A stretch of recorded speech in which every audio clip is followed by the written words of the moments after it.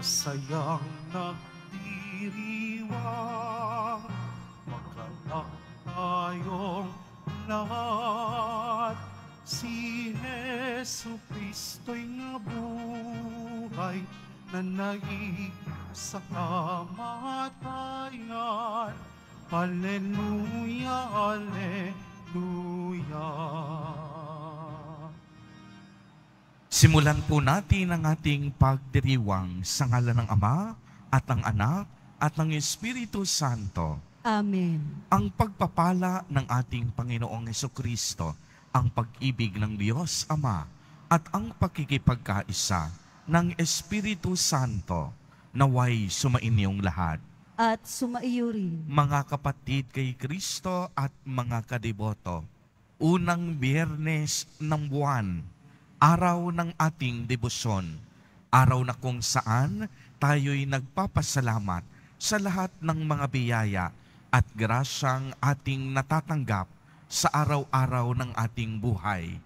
Ito rin ang araw na kung saan tayo'y humihingi ng kapatawaran sa mga kasalanan at pagkukulang nating nagagawa laban sa Panginoon. Ito rin ang araw na kung saan ay sama-sama nating tinitipon ang lahat ng ating mga panalangin at pagsusumamo ng puso at ating itong iniaakyat sa Diyos. Tayo pong lahat ay tinipon ng ating Nuestro Padre Jesus Nazareno bilang kaanib ng angka ng Diyos. Tinipon niya ang bawat isa sa atin sapagkat mahal niya tayo. Kaya dumulog po tayo sa ating maawaing Panginoon na nagpapatawad ng lubos. Inaamin ko sa makapangyarihang Diyos At sa inyo mga kapatid, na lubha akong nagkasala sa isip, sa salita at sa gawa, at sa aking pagkukulang. Kaya isinasamo ko sa mahal na Berheng Maria, sa lahat ng mga anghel at mga banal, at sa inyo mga kapatid, na ako'y ipanalangin sa Panginoong ating Diyos. kaawaan tayo ng makapangyarihang Diyos.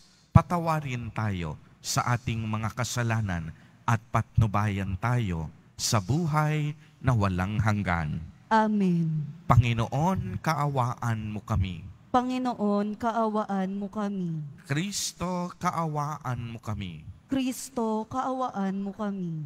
Panginoon, kaawaan mo kami. Panginoon, kaawaan mo kami. Gloria in excelsis Deo.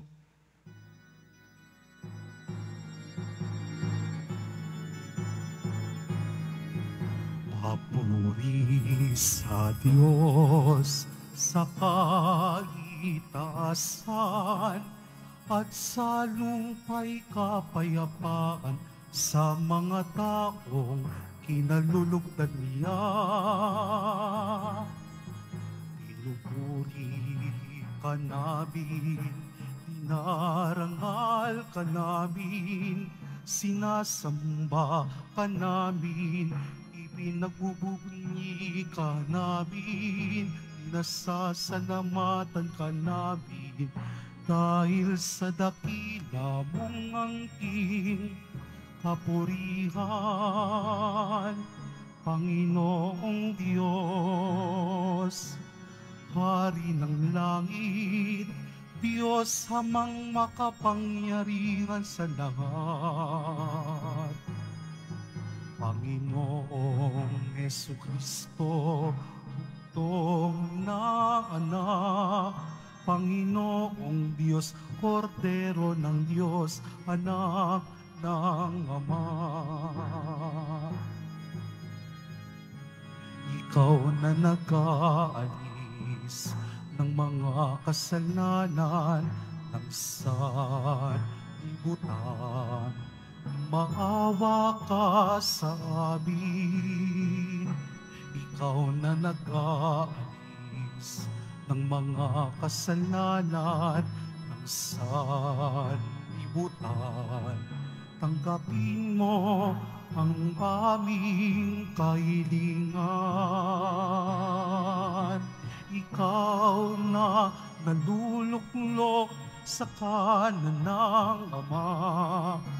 Maawa ka sa amin, sapagkat ikaw lamang ang banal, ikaw lamang ang Panginoon.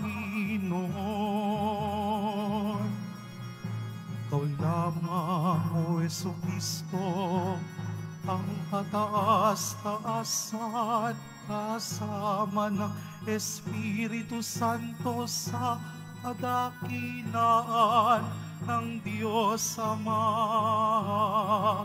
Amen.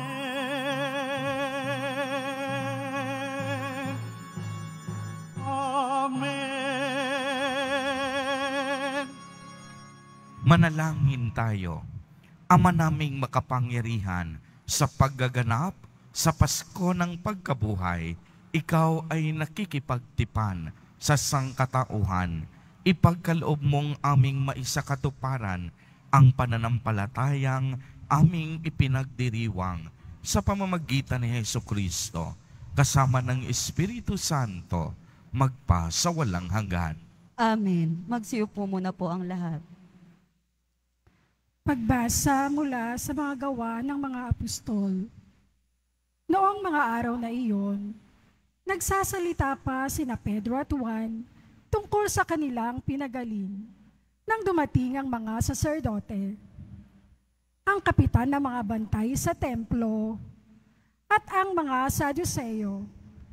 Galit na galit sila sa dalawang apostol sapagkat ipinapahayag nila sa mga tao na si Jesus ay muling nabuhay at ito ang katunayan na muling mabubuhay ang mga patay. Kaya tinagkip nila ang dalawa, ngunit ikinulong muna hanggang kinabukasan sapagkat gabi na noon. Gayunman, marami sa nakarinig ng kanilang pangangaral ang sumasampalataya kay Jesus at umabot sa limang libo ang bilang ng mga lalaki. Kinabukasan, nagkatipon sa Jerusalem ang mga pinuno, ang matatanda ng bayan at ang mga eskriba.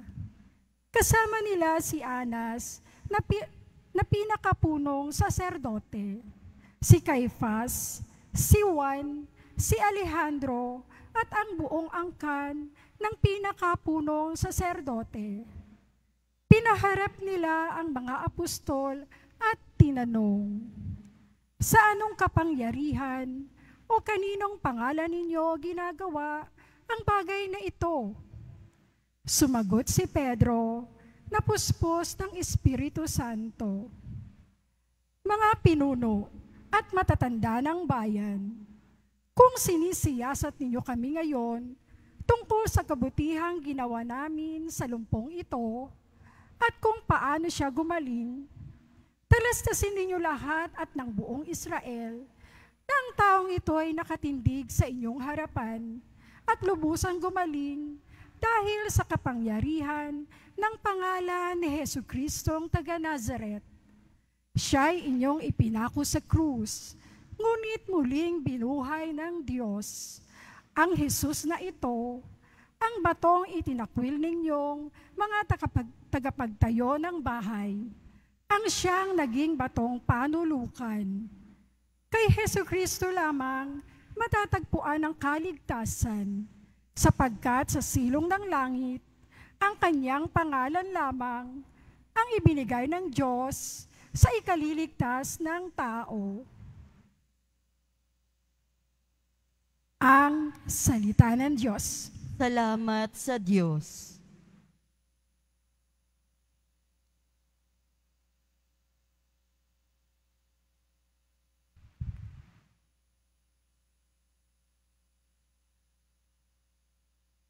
Batong dating tinanggihay, siya pang naging saligan.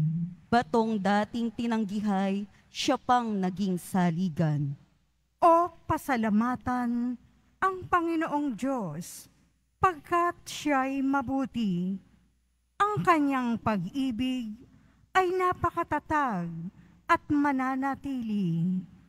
Ang taga-Israel, bayaang sabihit, kanilang ihayag. Ang pag-ibig ng Diyos ay hindi kukupas. Lahat ng may takot sa Panginoong Diyos dapat magpahayag. Ang pag-ibig niya'y hindi magwawakas. Batong dating tinanggihay, siya pang naging saligan. Ang batong natakwil ng nangagtatayo ng tirahang bahay. Sa lahat ng batoy, hindi na mahusay. Ang lahat ng ito, ang nagpamalas, ay ang Panginoong Diyos. Kung iyong mamasdan, ay kalugod-lugod o kahanga-hanga ang araw na itong ang Diyos ang nagbigay. Tayo ay magalak, ating ipagdiwang. Batong dating tinanggihay, siya pang naging saligan.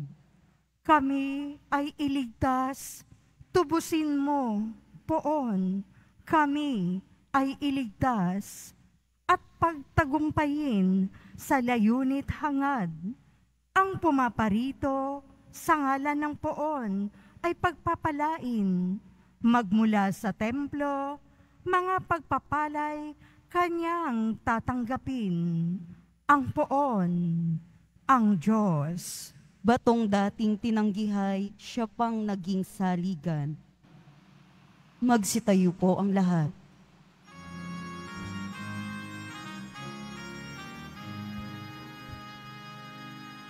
Hallelujah, Hallelujah,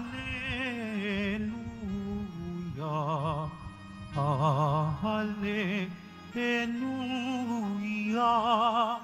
Hallelujah.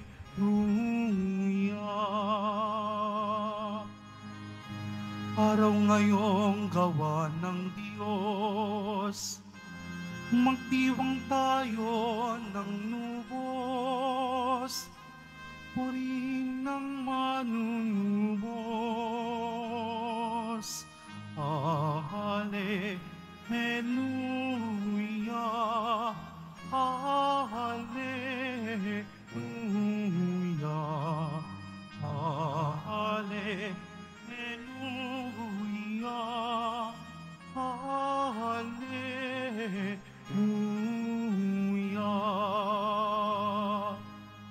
Sumainyo ang Panginoon. At sumaiyo rin, Ang mabuting balita ng Panginoon ayon kay San Juan. papuri sa iyo, Panginoon.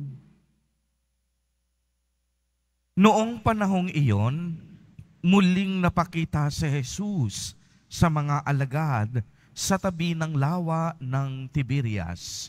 Ganito ang pangyayari. Magkakasama sina Simon Pedro, Tomas na tinaguri ang kambal, Nathaniel na taga Cana Galilea, ang mga anak ni Zebedeo at dalawa pang alagad. Sinabi sa kanila ni Simon Pedro, Mangingisda ako. Sasama kami, wika nila. Umalis sila at lumulan sa bangka. Subalit walang nahuli ng gabing iyon. Nang magbubukang liwayway na, tumayo si Jesus sa pampang. Subalit hindi siya nakilala ng mga alagad. Sinabi niya, Mga anak, mayroon ba kayong huli? Wala po, tugon nila. Ihulog ninyo ang lambat sa gawing kanan ng bangka at makakahuli kayo. Sabi ni Jesus, inihulog nga nila ang lambat at hindi nila ito mahila sa dami ng huli. Sinabi kay Pedro ng alagad na minamahal ni Jesus, Ang Panginoon iyon. Nang marinig ito ni Simon Pedro, siya'y nagsuot ng damit sapagkat hubad siya at tumalon sa tubig. Ang kasama niyang mga alagad ay sumapit sa pangpang, sakay ng munting bangka, hila-hila ang lambat at puno ng isda. Hindi sila gaanong kalayuan sa pangpang, mga siyam na pong metro lamang. Pag-ahon nila sa pangpang, ay nakakita sila roon ng mga baga na may isdang nakaihaw at ilang tinapay. Magdala kayo rito ng ilang isdang nahuli ninyo, sabi ni Jesus.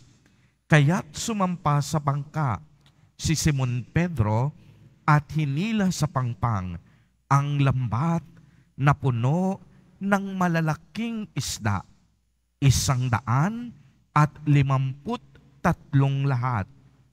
Hindi napunit ang lambat, kahit ganoon karami ang isda. Hali kayo at mag-almusal tayo, sabi ni Jesus. Isa man sa mga alagad ay walang nangahas magtanong sa kaniya kung sino siya sapagkat alam nila na siya ang Panginoon. Lumapit si Jesus, kinuha ang tinapay at ibinigay sa kanila. Gayon din ang isda. Ito ang ikatlong pagpapakita ni Jesus sa mga alagad pagkatapos na siya ay muling mabuhay ang mabuting balita ng Panginoon. Pinupuri ka namin, Panginoong Heso Kristo. Magsiupo po ang lahat. Magandang umaga po sa inyong lahat, mga kapatid kay Kristo.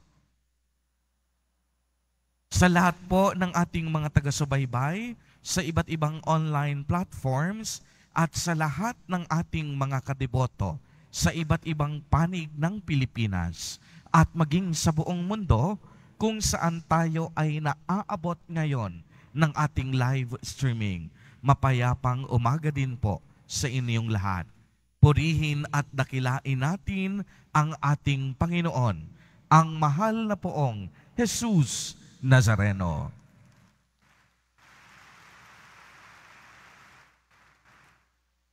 Mga kapatid kay Kristo at mga kadiboto, malugod po namin kayong tinatanggap sa Basilica Minor at pangbansang dambana ni Jesus Nazareno. Tunay nga pong dumating na ang araw na ating pinakahihintay. Tayong lahat ay patuloy pong nagagalak at nagdiriwang sapagkat tunay ngang ang pag-ibig ay nagtagumpay. Ang kaligtasan na pa sa ating mga kamay ang Diyos ay tunay na buhay magpakailanman. Kaya't muli nating ibigay ang pinakamalakas na palakpak kay Jesus Nazareno. Na muling nabuhay at patuloy na nabubuhay kasama natin. Tunay ngang ang liwanag ni Kristo ang nanaig, ang liwanag na ito ni Jesus Nazareno ay mananatili magpakailanman na pagtagumpayan na ng ating Panginoon ang kamatayan. Ibig sabihin, tayong lahat na bininyagan at sumasampalataya sa Kanya ay makakaasa din ng isang pagkabuhay at buhay na walang hanggan. Kung mapapansin po ninyo, ang ating ebanghelyo mula noong linggo hanggang ngayon ay tungkol sa muling pagkabuhay ni Jesus Nazareno. Noong mga nakaraang araw, narinig natin na hindi lang basta nabuhay si Jesus Nazareno kung hindi nagpakita siya sa kaniyang mga alagad at mga apostol. Tunay ngang lumaganap na ang balita tungkol sa kaniyang pagkabuhay sa iba't ibang nayon at narinig na ng iba't ibang lahi. Subalit, marami pa rin sa kanila, bagamat narinig ang kwento sa pagkabuhay ni Jesus Nazareno ay hindi pa rin makapaniwala.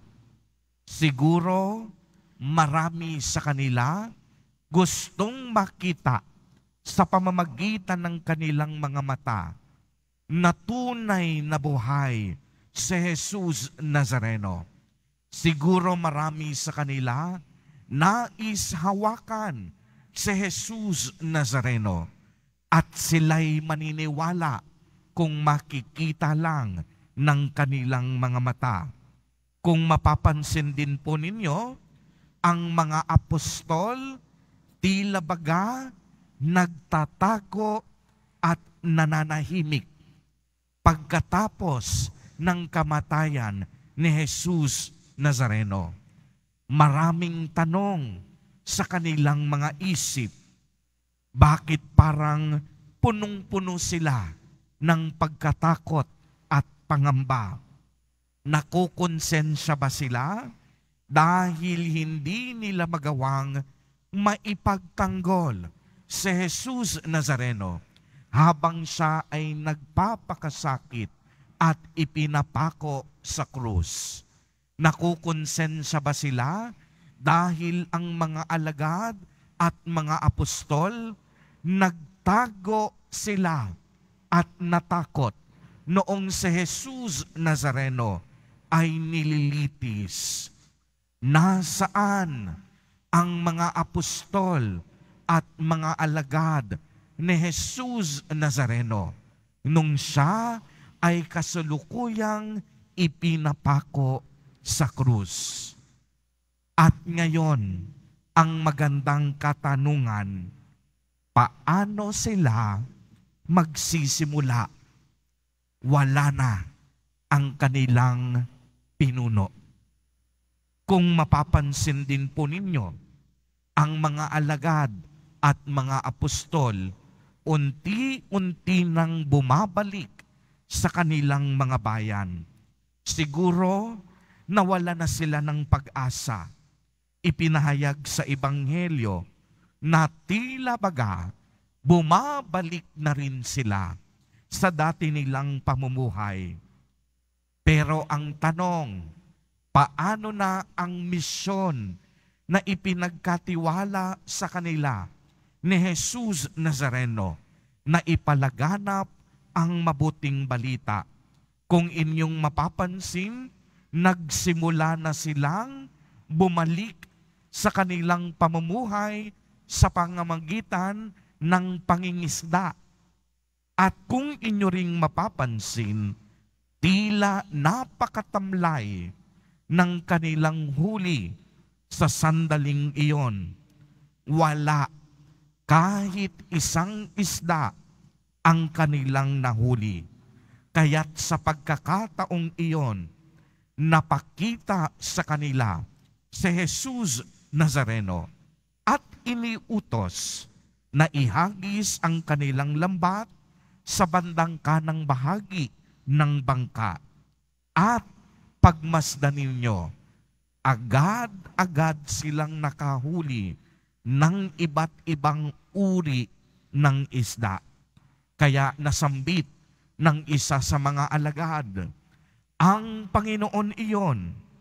Pagkatapos noon, nag-almusal sila sa kanilang huling isda. Pinagpira-piraso ni Jesus Nazareno at ibinahagi sa bawat isa sa kanila. Mga kapatid kay Kristo, at mga kadiboto, marahil kagaya ng mga alagad at apostol, tayo rin nababalot ng matinding pagkatakot, pangamba at pag-aalinlangan sa buhay. Siguro ngayon, habang nakaupo kayo sa mga sandaling ito, sa loob ng simbahan, at sa ating mga online viewers na nakikinig sa kanilang mga screen. Siguro marami rin kayong pagkatakot sa inyong puso. Marami kayong pag-aalinlangan, pagdududa at pangamba sa inyong buhay. Siguro kagaya din ng mga apostol, hindi po ninyo alam kung anong inyong gagawin sa mga hamon at pagsubok ng buhay. Kaya kagaya ng mga apostol, marahil marami sa inyo nais magtago at mag-isa na lang sa kanilang buhay. Subalit mga kapatid kay Kristo at mga kadiboto, lagi po nating tatandaan, wag na wag mong iisipin na ikaw ay nag-iisa. Darating at darating ang ating mahal na poong Jesus Nazareno upang sagapin tayo gaya ng kanyang ginawa sa Ebanghelyo sa araw na ito. Inutos niya lang sa kanyang mga apostol at mga alagad na ihagis ang lambat at nakahuli agad-agad ng iba't ibang uri ng isda. Darating at darating si Jesus Nazareno upang wag tayong pabayaan. Darating at darating siya upang tayo'y alalayan at samahan sa bawat hamon ng ating buhay. Kaya palakpakan natin ng pinakamalakas si Jesus Nazareno na patuloy na dumadating araw-araw sa ating buhay upang samahan tayo sa ating mga problema, upang samahan tayo sa ating paglalakbay, at upang ipadaman niya ang kanyang panghilom, pagliligtas at kapayapaan sa bawat isa sa atin. Kagaya ng ibinahagi ko po nung isang araw, mailang ulit manating iwan at saktan si Jesus Nazareno gaya ng ginawa ng kaniyang mga apostol. Hinding hindi niya tayo iiwan. Ang tao po madalas mang-iwan at makalimot. Pero ang Diyos, anuman ang mangyari, hindi pwedeng makalimot at hindi kailanman mang-iiwan.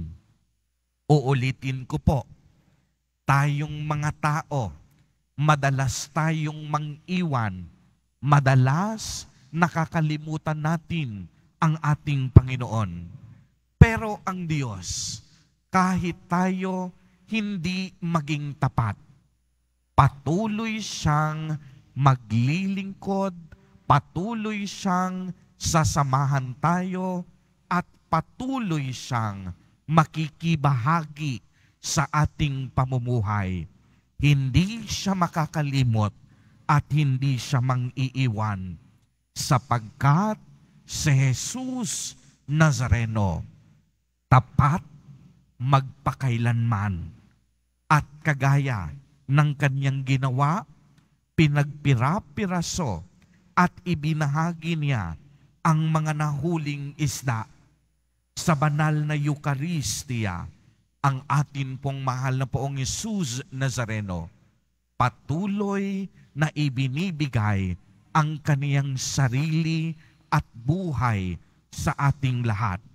Sa pamamagitan ng kanyang tunay na katawan na ating tinatanggap sa banal na komunyon. Ibinabahagi niya ang kaniyang sarili upang ating maging pangunahing lakas sa ating buhay. Kaya nga, masasabi natin, tunay at totoo na sa Jesus Nazareno, ang ating Nuestro Padre ay ang nag-iisa at bukod tangi nating tagapagligtas. Siya ang Panginoon na muling nabuhay. Amen. Purihin at dakilain natin ang ating Panginoon, ang mahal na poong Jesus Nazareno. Magsitayo na po ang lahat.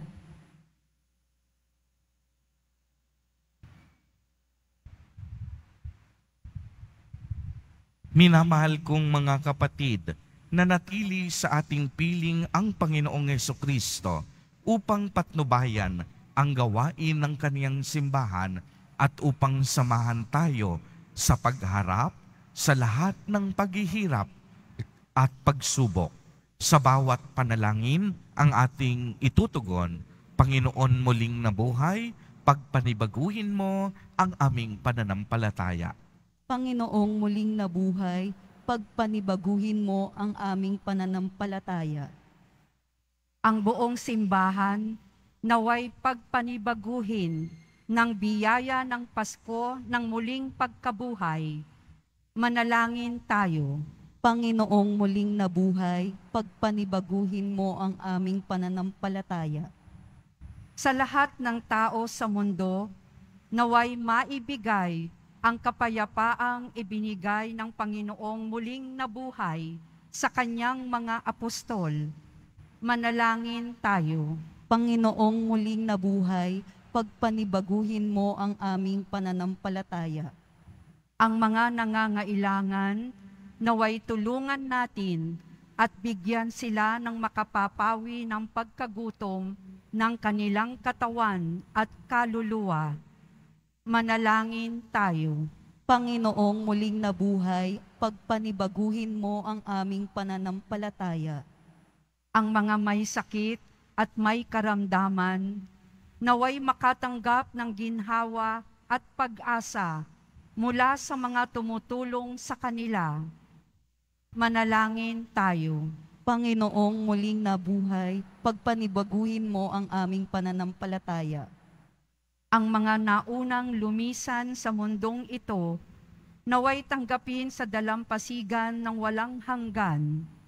Manalangin tayo. Panginoong muling nabuhay, pagpanabuguin mo ang aming pananampalataya. Diyos na aming Ama, ibinalik mo kami sa iyo sa pamamagitan ng muling pagkabuhay ng iyong anak.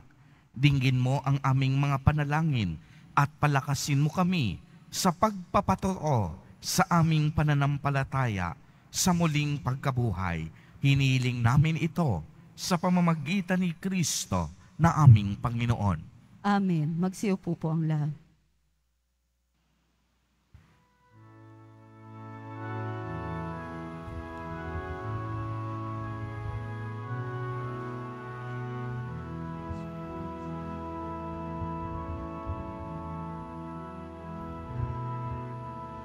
Tanggapin mo, O Panginoon, ang alay ng bayang nagdiriwang. Puhunan mong bigay ang alak at tinapay, handog ng pagkabuhay. Tanggapin mo, O Panginoon, ang alay ng bayang nagdiriwang. Puhunan mong bigay ang alak at tinapay, handog ng pagkabuhay. Magsitayo na po ang lahat. Manalangin kayo mga kapatid upang ang paghahain natin ay kalugdan ng Diyos amang makapangyarihan. Tanggapin nawa ng Panginoon itong paghahain sa iyong mga kamay, sa kapurihan niya at karangalan sa ating kapakinabangan at sa buong sambayanan niyang banal. Ama naming lumikha, lubusin mo ang ginaganap na pagpapalitan ng mga kaloob mo at ng aming mga alay upang ang aming mga kinahihiligang bagay ay mapalitan ng pagnanais sa iyong mga bigay sa pamamagitan ni Yesu Kristo kasama ng Espiritu Santo magpa sa walang hanggan. Amen. Sumain niyo ang Panginoon. At sumaiyo rin, Itaas sa Diyos ang inyong puso at diwa. Itinaas na namin sa Panginoon Pasalamatan natin ang Panginoong ating Diyos. Marapat na siya ay pasalamatan. Ama naming makapangyarihan, tunay ngang marapat na ikaw ay aming pasalamatan, lalo ngayong ipinagdiriwang ang paghahain ng Mesiyas, ang maamong tupa na tumubos sa aming lahat. Ang iyong anak na minamahal ay naghain ng sarili niyang buhay. Siya ang tupang maamong umako sa kaparusahan upang mapatawad ang kasalanan ng sanlibutan. Sa pagkamatay niya sa banal na krus, ang kamatayan namin ay kanyang nilupig. Sa pagkabuhay niya bilang manunubos, pag-asa at pagkabuhay ay aming nakamit. Kaya't kaisa ng mga anghel na nagsisiawit ng papuri sa iyo, nang walang humpay sa kalangitan, kami nagbubunyi sa iyong kadakilaan.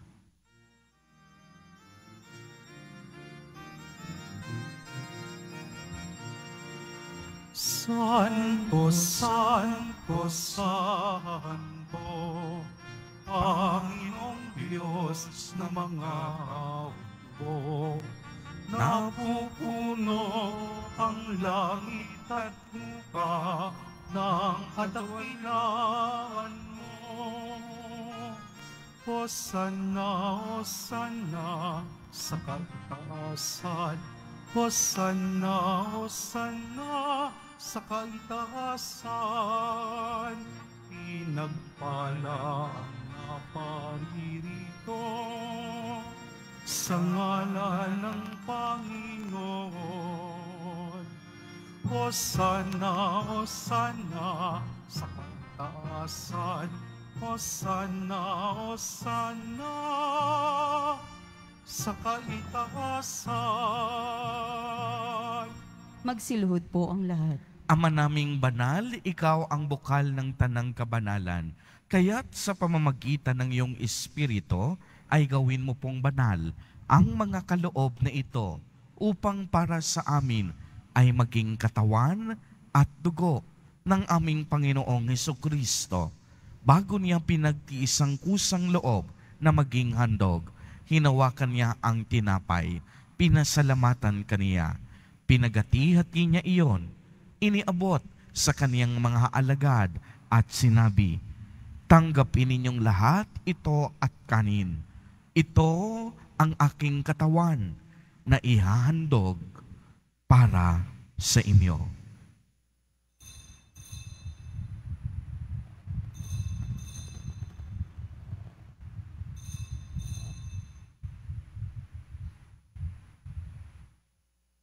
Gayon din naman noong matapos ang hapunan, hinawakan niya ang kalis, muli kanyang pinasalamatan.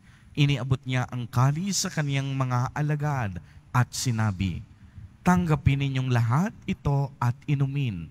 Ito ang kalis ng aking dugo, ng bago at walang hanggang tipan, ang aking dugo na ibubuhos para sa inyo at para sa lahat sa ikapagpapatawad ng mga kasalanan. Gawin ninyo ito sa pag-alaala sa akin.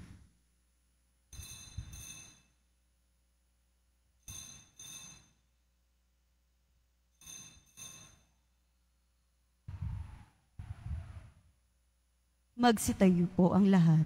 Ipagbunyi natin ang misteryo ng pananampalataya.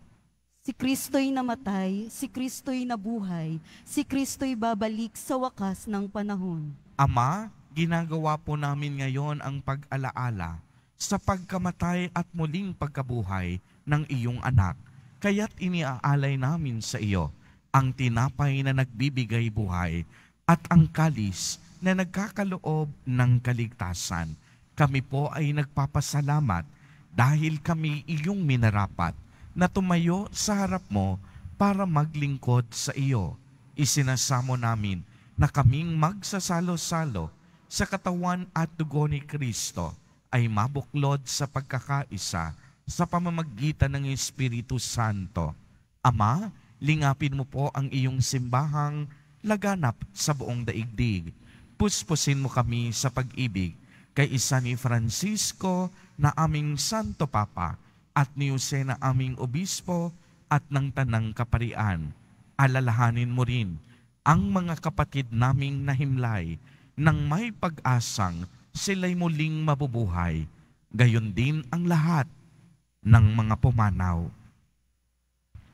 Kaawaan mo po sila at patuloyin sa iyong kaliwanagan. Kaawaan mo at pagindapatin kaming lahat na makasalo sa iyong buhay na walang wakas, kaisa ng mahal na Birheng Maria na ina ng Diyos, ng kabiyak ng puso niyang si San Jose, kaisa ng mga apostol ni San Juan Bautista, San Lorenzo Ruiz de Manila, at San Pedro Calungsod, at ng lahat ng mga banal na namuhay dito sa daigdig ng kalugod-lugod sa iyo. Maipagdiwang nawa namin ang pagpupuri sa ikararangal mo sa pamamagitan ng iyong anak na aming Panginoong Heso Kristo. Sa pamamagitan ni Kristo, kasama niya at sa Kaniya, ang lahat ng parangal at papuri ay sa iyo, Diyos amang makapangyarihan, kasama ng Espiritu Santo, magpa sa walang hanggan. Amen, Amen, Amen. Amen, Amen. Amen, Amen. Sa tagubili ng mga nakagagaling na utos at turo ni Jesus na Panginoon natin at Diyos, ipahayag po natin ng lakas loob. Ama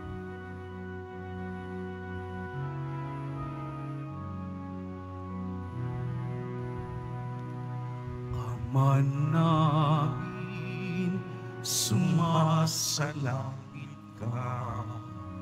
Sambahin ang ngalan mo. Mapasa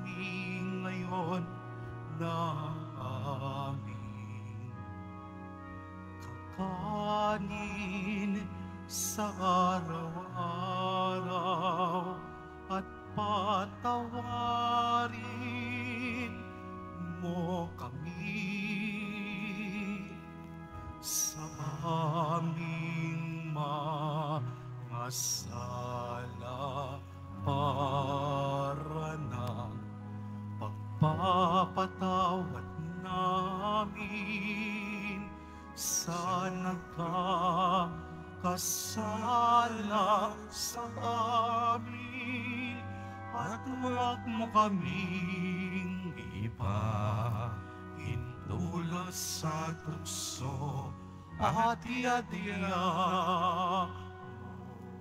kami sa lahat ng masama.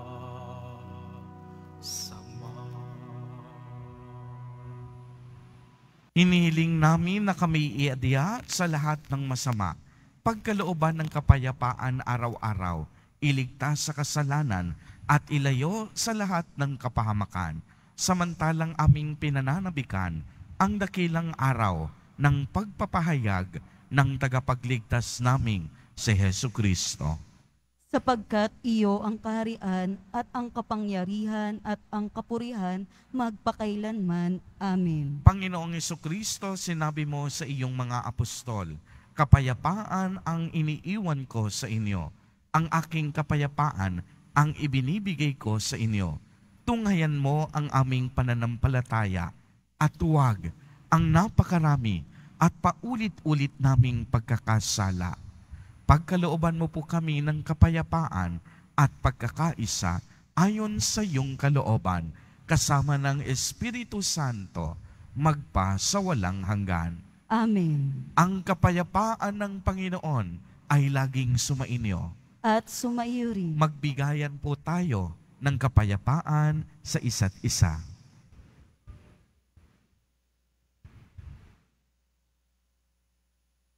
Kordero ng Diyos na nag-aalis ng mga kasalanan ng sanlibutan, maawa ka sa amin. Kordero ng Diyos na nag-aalis ng mga kasalanan ng sanlibutan, maawa ka sa amin. Kordero ng Diyos na nag-aalis ng mga kasalanan ng sanlibutan, ipagkaloob mo sa amin ang kapayapaan. Magsiluhod po ang lahat.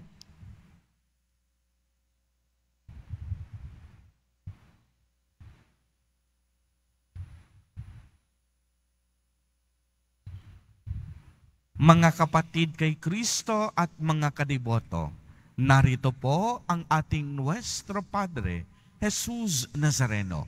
Lumapit po tayo sa Kanya at magbalik loob. Siya ang kordero ng Diyos. Siya ang nag-aalis ng mga kasalanan ng sanlibutan. Mapapalad po tayo na inaanyayahan sa Kanyang piging. Panginoon, hindi ako karapat-dapat na magpatuloy sa iyo, ngunit sa isang salita mo lamang ay gagaling na ako. ipagsanggalang nawa tayo ng katawan at tugo ni Kristo para sa buhay na walang hanggan.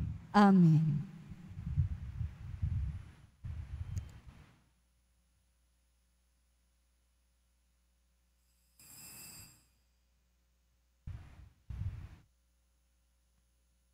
Para sa lahat ng tatanggap ng banal na komunyon, sasagot po tayo ng Amen pagkasabi ng pari o ng lay minister ng katawan ni Kristo at isubo agad sa bibig bago umalis sa harapan ng pari o lay minister.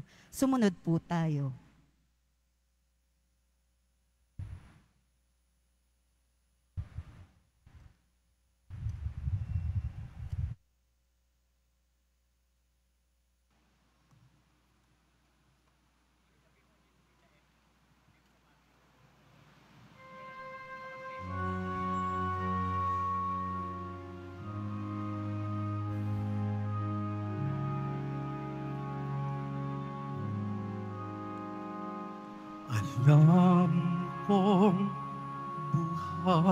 Ang Panginoon.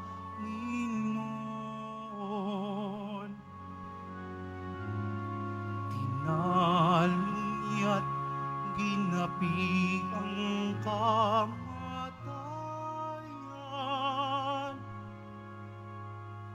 Kung nasan ang iyong luha sa mata at magsaya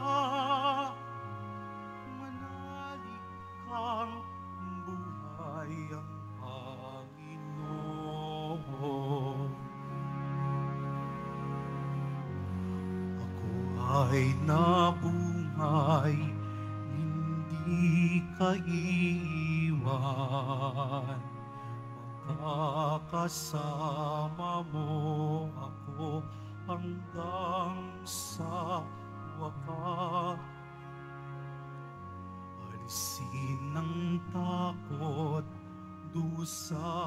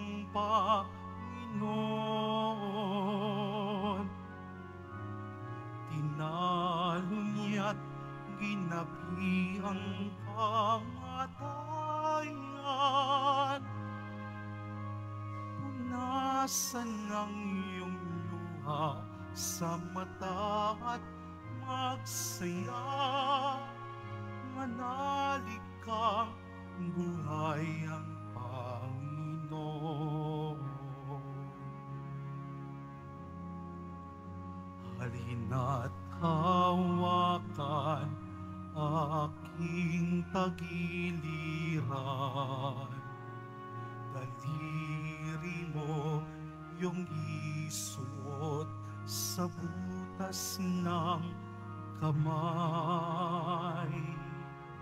Kapayapaang atin, iyon ang tanggapin.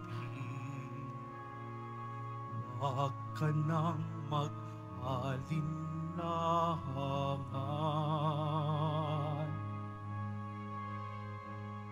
Alam kong ang Panginoon.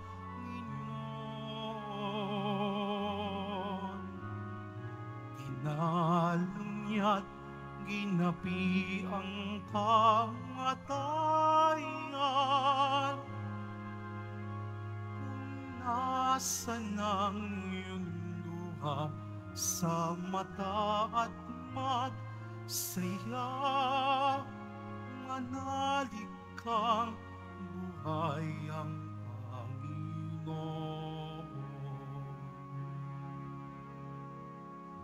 Inyong pagsalungan aking inihanda.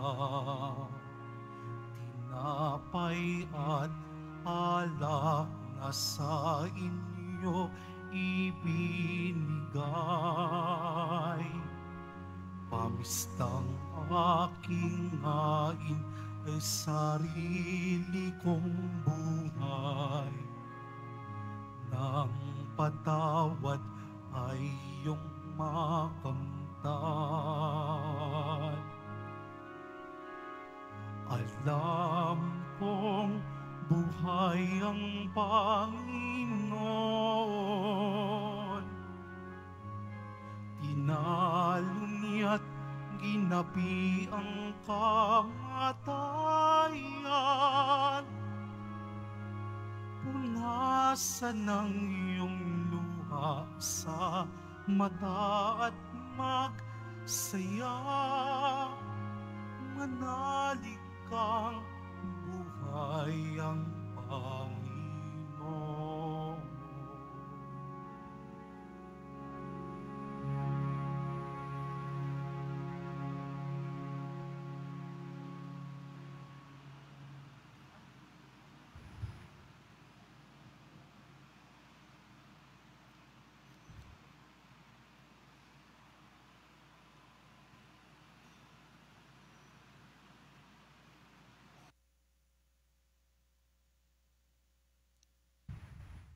Announcement, magkakaroon po tayo ng second collection para sa ating Disaster and Relief Fund na ipinantutulong ng ating simbahan sa mga naapektuhan at nasalanta ng mga sakuna at kalamidad.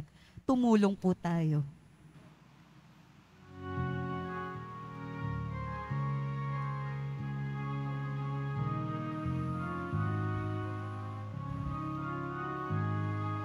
Walang sinuman ang nabubuhay para sa sarili lamang. Walang sinuman ang namamatay para sa sarili lamang. Tayong lahat ay may pananagutan sa isa't isa. Tayong lahat ay tinipon ng Diyos na kapiling niya.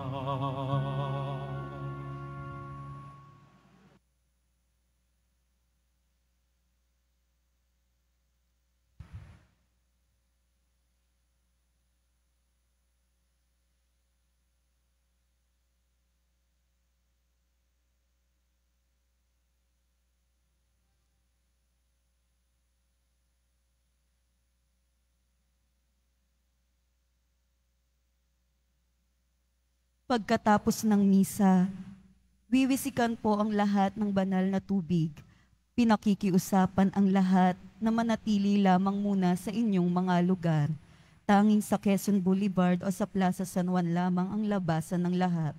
Sumunod po tayo. Maraming salamat po sa inyong pagdalaw at pagsisimba sa Basilica Minor at Pambansang Dambana ni Jesus Nazareno.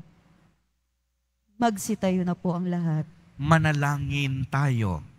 Ama naming mapagmahal, ipagpatuloy mo ang iyong matapat na pagsubaybay sa iyong mga dinudulutan ng kaligtasan upang ang mga ipinagpapakasakit na sagipin ng iyong anak ay makinabang sa pagkabuhay niyang nagbibigay galak sa pamamagitan ni Yesu Kristo kasama ng Espiritu Santo magpa sa walang hanggan.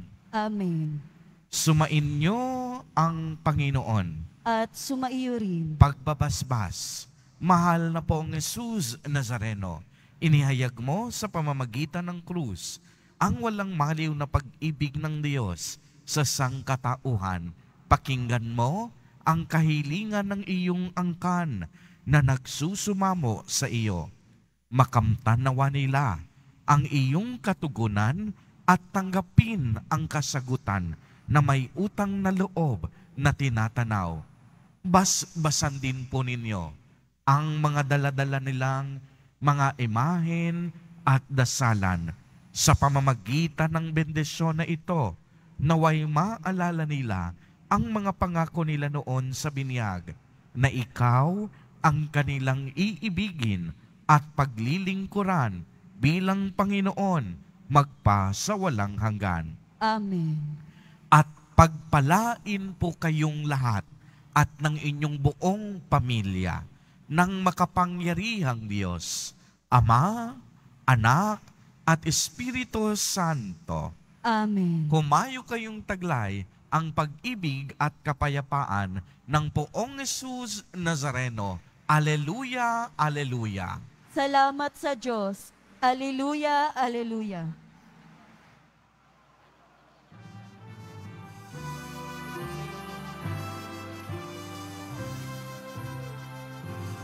Nuestro Padre Jesus Nazareno, sinasamba ka namin.